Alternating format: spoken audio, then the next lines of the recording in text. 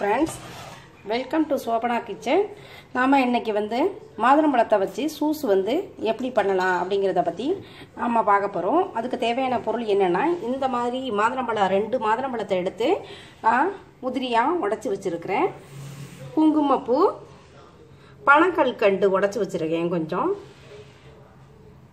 ரெண்டு டம்ளர் பால் எடுத்து வச்சுருக்கிறேன். இப்போ நம்ம வந்து என்ன செய்ய போகிறோம் அப்படின்னு சொன்னால் இந்த நசுக்கி வச்சுருக்க இனிப்பு பனகலக்கண்டு போட்டுக்கிறேங்க. கொஞ்சோண்டு குங்குமப்பூ சேர்த்து இப்போ நல்லா காய்ச்சி எடுத்துக்குவோம் இப்படி காய்ச்சினோம்னா நல்லா குங்குமப்பூ வந்து இதிலையே நல்லா கரைஞ்சி கலர்ஃபுல்லாக ஆகிடும் கல்கண்டும் கரைஞ்சிரும். நான் வந்து பாலில் பனங்கல்கண்டும் குங்குமப்பூவும் போட்டு நல்லா காய்ச்சி இந்த ஒரு பாத்திரத்தை தண்ணி வச்சு அதில் தூக்கி ஆற வச்சு வச்சுருக்கிறேன். நல்லா ஆறிடுச்சு. இப்போ நம்ம வந்து இந்த பாலை இந்த மாதுளம்பழத்துடன் ரெண்டையும் சேர்த்து கலந்து ஒரு மிக்சியில் வச்சு அடித்து சாராக வச்சுக்குவோம். இப்போ பாருங்கள் மாதுளம்பழத்தை பாலோட கலந்து நல்லா அடித்து வச்சுக்கிட்டேன். இப்போ நம்ம இந்த வடிகட்டியை வச்சு வடிகட்டிக்குவோம். மெதுவாக வடிகட்டுங்க. இல்லாட்டி சக்கை பூரா உள்ளர கொட்டி ஊற்றிடும்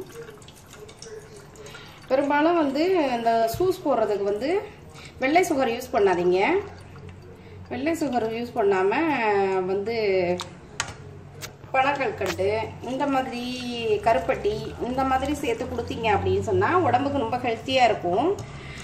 இது பெரும்பாலும் வாய்ப்புண்ணு வயிற்றுப்புண்ணு இந்த மாதிரி வயிற்றுப்போக்கு இந்த மாதிரி உள்ள பிரச்சனையை தீர்க்கறதுக்கு தான் நம்ம இந்த சூஸை போட்டு கொடுக்குறோம். நீங்கள் வந்து இதில் போயிட்டு வெள்ளை சுகர் ஆட் பண்ணி கொடுத்தீங்க அப்படின்னு சொன்னால் அது கிளியர் ஆக ரொம்ப லேட் ஆகும்.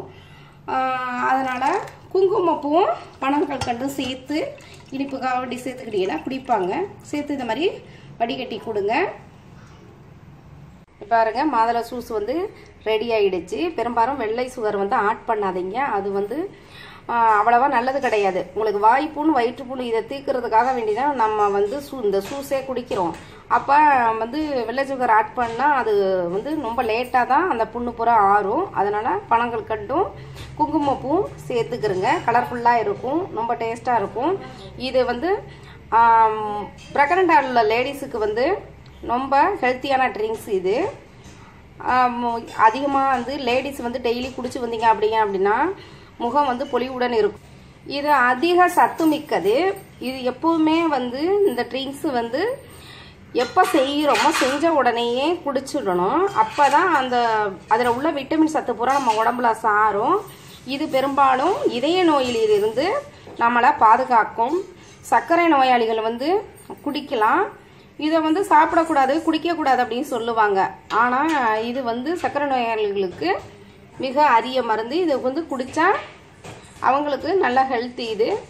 இதை மாதிரி ட்ரை பண்ணி பாருங்கள் பிடிச்சிருந்தா லைக் பண்ணுங்கள் ஷேர் பண்ணுங்கள் கமெண்ட் பண்ணுங்கள் சப்ஸ்கிரைப் பண்ணுங்கள் bye bye friends thanks friends